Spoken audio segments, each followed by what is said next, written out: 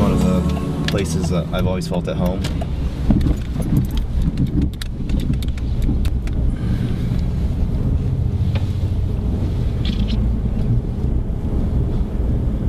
So we have believed in God and what was revealed to us and what was revealed to Abraham, Ismail, Isaac, Jacob, and the descendants. And what was given to Moses, Jesus, and the prophets from our Lord. We make no distinction between one another, and we are Muslims. Quran 84 Al Imran. My name is uh, is Hassan Raza Chinavare. That's my Islamic name. Uh, my American name is um, is Lauren Anthony Chinavare. I was um, born in Daegu City, South Korea. I was adopted by an American family uh, in um, Grosse Ile, Michigan. It's a Detroit suburb. I was um, raised as a Catholic, which um, throughout my whole life, I did not really see eye to eye with uh, Christianity at one time. I only uh, was practicing Christianity because my parents were Christians. My grandparents were Christians, so I was only following because of my, my family roots. Um, I went to a Christian camp um, from the ages of 10 to uh, 17, which um, things uh, that were being taught were going in one ear, and out the other. Um, it's like a lot of the things that they're uh, talking about, I didn't really get it. Um, I uh, came across um, Islam when um, I was in high school. I uh, started touring the masjid uh, in Dearborn. I was, uh, was part of a tour group with uh, my mother. Uh, she um, was with a group uh, which they agreed to um, showing people the, the masjid, showing non-Muslims um, the masjid. I actually um, was intrigued by the uh, whole atmosphere of the masjid, in which there was a lot of uh, a lot of prayer, a lot of um, community activity. I became curious about uh, Muslims um, on their way of life and um, and everything they do, and I came to know that they're not really exactly like the people that we hear about on the news. So I've made Muslim friends in, in high school. I got to know them, but they were of the Ahl Sunnah school of thought. I came to know a little bit about Islam um, through them. Like one of the basic points is uh, is hygiene, which um, a lot of people who are saying bad things about um, Middle Easterns, uh, Middle Easterners, um, that they're dirty, they're not clean, uh, they're rude, they're selfish. Um, I, I came to know them. Uh, they're not really bad people at all. They're very clean, very humble. Um, after I had the tour of the of the masjid, I I didn't uh, embrace Islam uh, at the time, but I accepted it as a legit path to God. It wasn't really until um, I started college I started making Muslim friends. Um, this one, one actually two, three friends. Uh, they're all uh, all Shia. Some who are uh, strictly practicing, and there are some who are not. Uh, some who are actually trying to become religious after being indulged with a Western lifestyle. There was actually times that I was um, trying to become uh, religious again, like uh, through Christianity, which is what I was raised in. I was uh, trying to debate with them on Christianity, how it's legit, how people should uh, start believing in Jesus. Um, I was debating that with uh, my Muslim friends, but I kept losing the debates, and they were asking me, uh, so why can't you just look into Islam? It, it's really more legit than uh, what you're following right now. And um, I said, no, you just have to believe. That means you're not a believer. And but still, they're telling me the, that my verdict is not logical.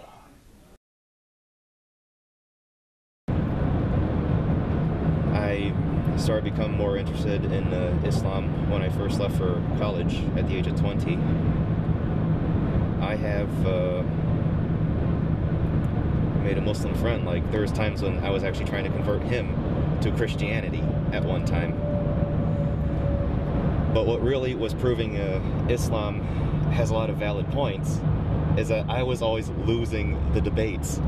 I kept losing. Like I, I was telling my friend, like, no, you have to believe in Jesus, and uh, he's saying, sorry, Jesus was not the Son. And I was like, what? But it says in the Bible there that he is.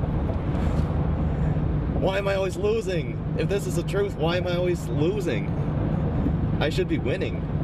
But I lost, and then he actually did prove it that um, Islam is the truth and that Jesus was only a prophet.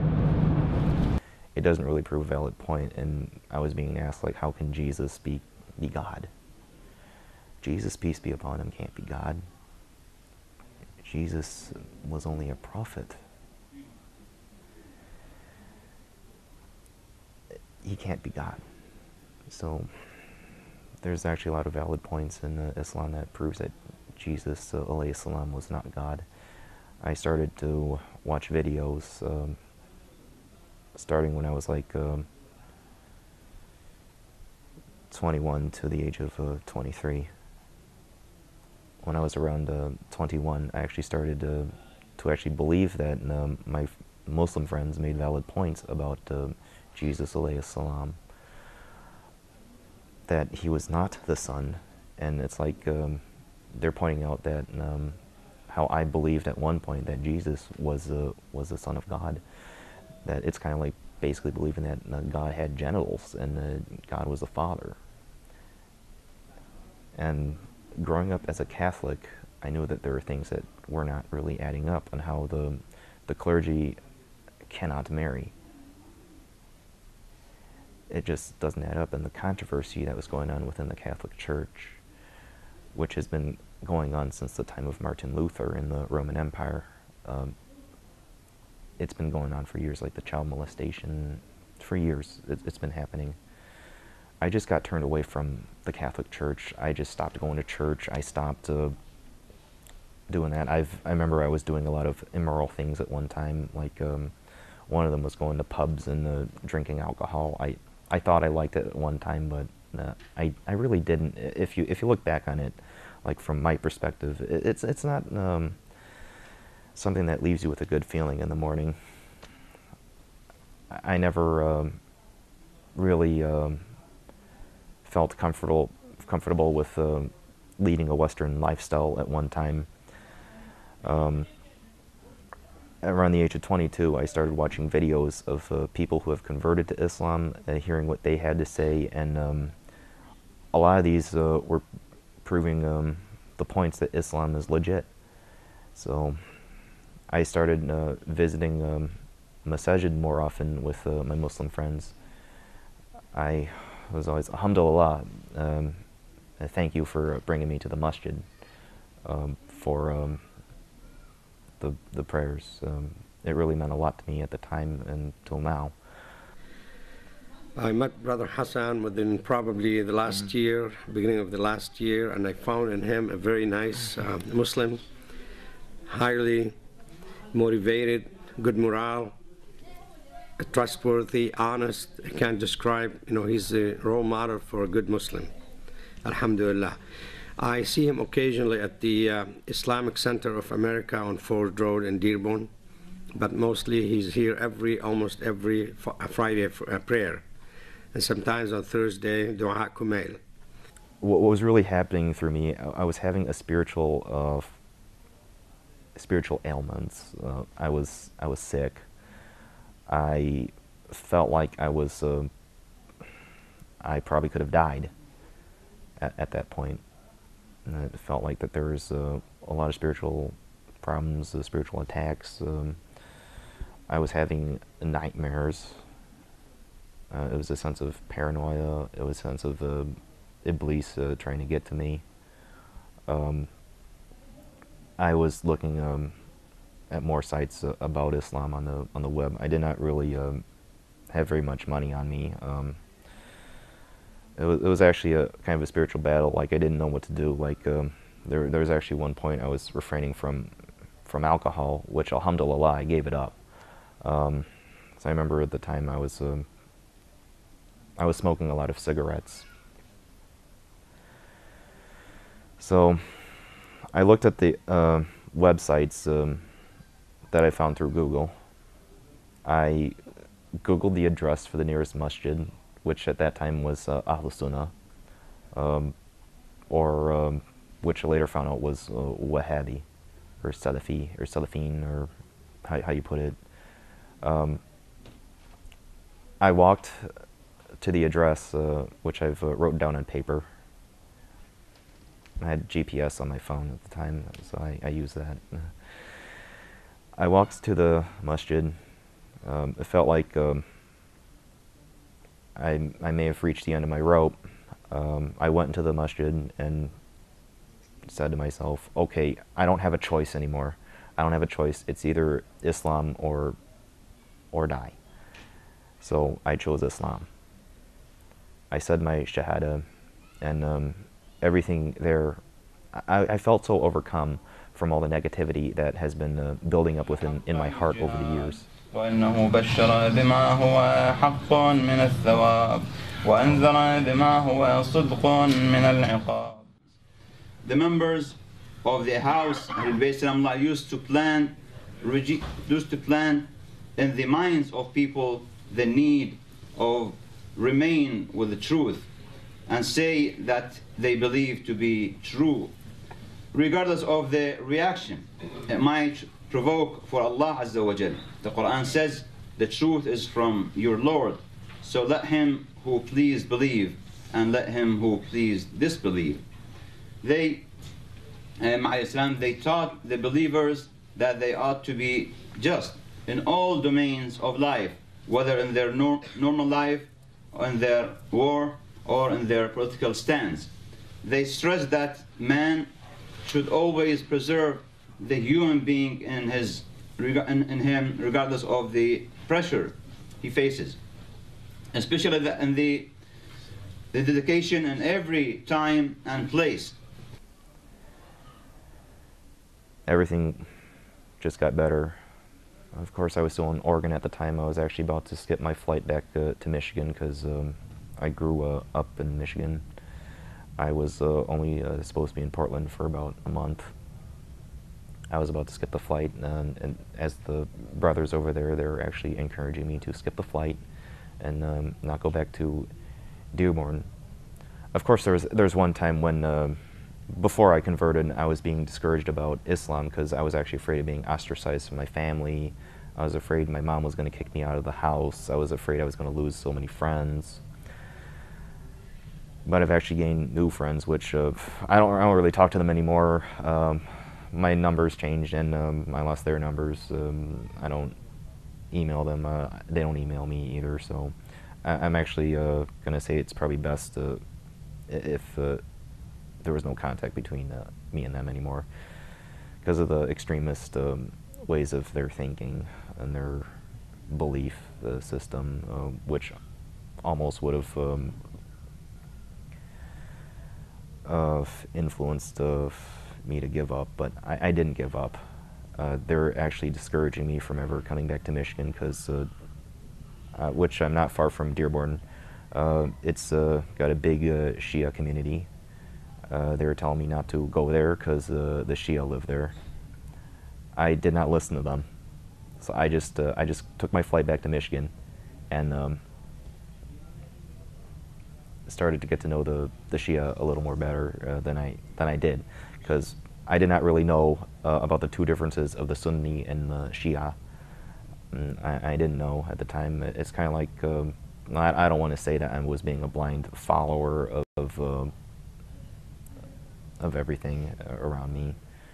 I started to um, improve my knowledge um, ever since uh, the first time I, I, took my Shahada. Started to become a little more knowledgeable about um, uh, Prophet Muhammad sallallahu alaihi wa wasallam, his uh, Ahlul Bayt assalamu alayhim, uh, most importantly uh, Imam al-Hussein alayhi salam, and how he sacrificed himself for the world and um, ever since um, the Battle of uh, Karbala. Imam Hussein on how he uh, made sacrifices um, for um, everything he ever knew, everything he ever loved. Um, to keep uh, Islam going was actually the biggest uh, sacrifice he ever made was um, sacrificing uh, himself for the cause. All of them have, um, all the Ahlul Bayt, uh, alayhim, have said a lot of useful things. Like, uh, like for me, like um, I used to have problems with uh, anger um, in my youth, um, way before I converted uh, to Islam. I was always angry. I was always looking for truth. Um, there were times I could have been something else, but um, I'm actually glad, alhamdulillah, that I'm a Muslim right now. More so importantly, uh, of the Shia school of thought. Um, I have made friends who were Hindu. I, there was times I may have looked into Buddhism or was almost considering that, like, but leaving Christianity. But Hinduism and the Buddha, they don't really have the concept of, of one God. Uh, it's um, usually bound to idols. Um, anything that is really most important to me, like I, have I've made sacrifices. Imam Hussein Islam made sacrifices, um, not just for his own personal life, but uh, for for mankind in general, everyone in the world. Like um, I, am making a lot of sacrifices for myself too, like um, like giving up a, a, lot of things from uh, an Americanized uh, lifestyle that I, I, used to lead at one time, and uh, becoming more knowledgeable in Islam. Uh, that's that's really a, a, sacrifice I'm making right now. There are times when um, I just had to give up on um, a lot of uh, lifestyle to better myself, like uh, changing my diet and um, changing like how much I do things, like uh, giving up on a majority of television was actually a good start for me. Uh, one thing uh, that um, Imam Hussein Islam has taught me is to uh, never give up on my non-Muslim family. As Imam Hussein Islam never gave up on his own. Like he even um, he was so knowledgeable. Um, he was even the, the attorney of his own family.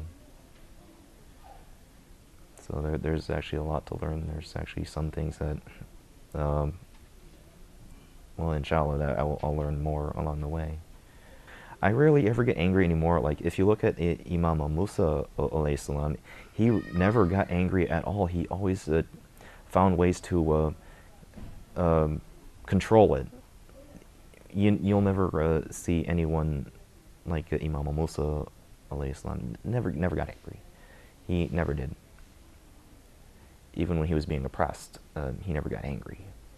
Um, I'm studying uh, Arab Cultural Studies uh, at Henry Ford Community College. Uh, I wasn't really going to go to Henry Ford at first time because I dropped out of um, a four-year university when I was younger but now I'm uh, at Henry Ford studying Arab Cultural Studies uh, to uh, finish up my degree and uh, possibly, inshallah, get a job. What, what I was really going to do before I even um, thought of enrolling back in the school, I was about to go off to the Hawza in Tampa, Florida with Sheikh Mohammed Beg uh, to study to be an uh, alim. Then uh, I would have gone to uh, Najaf, then um, finishing off the, the studies in, uh, in Qom. My real dream is to um, possibly uh, give Dawa to um, South Korean people, as, uh, as I'm of Korean descent. Um, I feel that they would probably be somewhat more convinced of because of uh, one my my race and learning the language. Um, I would have to learn the language because uh, my first language is English.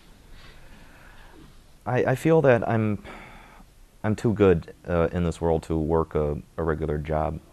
I feel like I'm more called for uh, religious things um, more than ever than I than I used to think. Like growing up in my youth, I was not uh, very much religious. Um, the only thing religious about me was uh, was coming from um, a Christian uh, background, um, Christian base camps and um, church on Sunday, and um, Christmas. Um, that that's the only thing that was ever religious when it came to me was was that.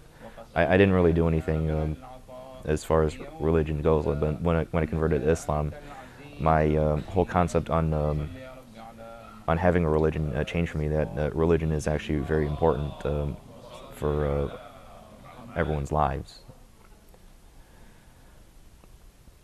So there's always reasons to why I chose um, Islam. Was in a way to better myself, and um, my conversion to Islam actually taught me to uh, respect people who are different than me.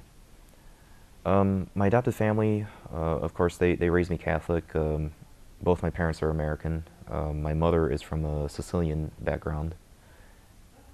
She speaks English only. Uh, my father uh, is from a French Canadian background. Uh, they were uh, older when they adopted me. My father, um, may God rest his soul, has uh, passed away when I was 17.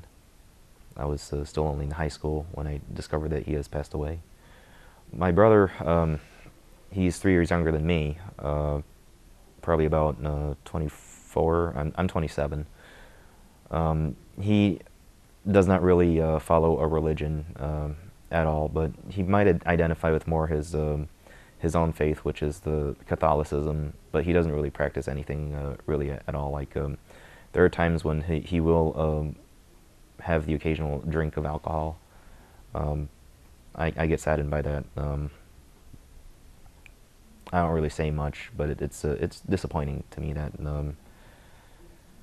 my mother. Um, there are times when she thought it was a phase uh, that I was going through at one time, like finding um, out my uh, myself at one time. Um, there were times when she thought I would I would leave Islam and return back to what I was originally raised in, but that didn't happen. So I made a vow to myself to stay as a Muslim forever. I was going through the motions at one time. Uh, I was uh, trying to find out like what was really true and what is really not. Like what path do I have to follow? Do I follow this? Do I follow that? Do I follow um, whatever? Do I follow Hinduism? Do I follow Christianity? Do I follow Judaism? Or whatever. But um, but I'm actually glad that I um, had that chance to become Muslim. Alhamdulillah. There were times when I did not I did not really ask for this, but at the same time, I'm really glad it happened. I'm really glad this has happened, that I converted to Islam. She, uh, at times I do feel that she's not as supportive, uh, but she's getting better and, and, used to it. Otherwise, uh, she would have uh, kicked me out of the house. Um, I do have conversations uh, about Islam to her, um, usually once or twice a week or whenever I have a chance. So I'm out of the house uh, like 90% of the day, uh, working at the airport and um, taking my classes at the community college. I'll, I'll talk to her about Islam. But she's uh, she's gotten used to it that I'm Muslim, like eating halal, and um, of course I would have to buy my own meat, and um, praying in the house and and everything. Uh, growing up. Um, I know that there's a there's something in the deep down inside uh, that says she's not my mother, but she was the the one who raised me since um, early childhood till now. So, but that that actually tells me that she is my mother, but biologically, um, no, because uh, she's she's white and um, and I'm um, East Asian. I, I still uh, give my mother love, like um, like there's something that the that Islam has taught me is um, is I should still maintain contact with my uh, family regardless, and my parents are my parents regardless if uh, they're biological to me or not, or if I was adopted or not. Um, they're they're still my parents. I still have to give them respect, and I still have to maintain uh, excellent contact with them. But if I be became Christian from a Muslim background, it would be the reverse. I would have to sever contact from them altogether.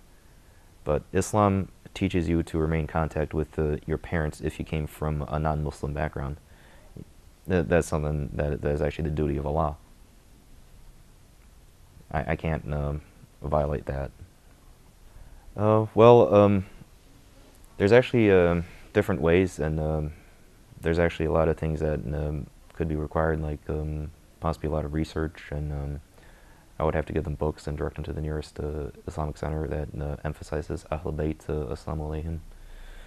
Um, there are times when um, I, I, really had nothing, um, but I would have to use words um, and be humble about it, um, about to influence um, someone on the Ahl Bayt.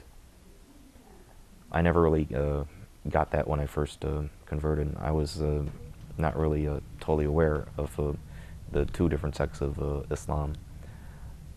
that's something I was not really educated about because um, people in, um, say, in the West, they're not really aware about the two different sects. Like, they don't um, emphasize that there are schools of thought within Islam.